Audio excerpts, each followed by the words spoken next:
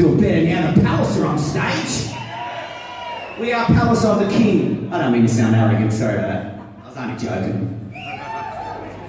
We are Palace of the King. We're here to rock Sydney. Thank you for having us. You bloody beautiful people, you. I'm gonna take my fancy fucking jacket off so that you can see my fancy fucking shirt. And then, gonna play some fancy fucking guitar.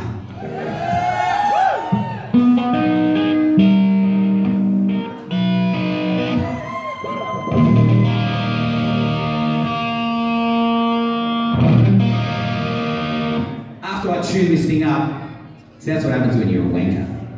You start making jokes about shit and your guitar's out of tune, you sound like a fucking idiot.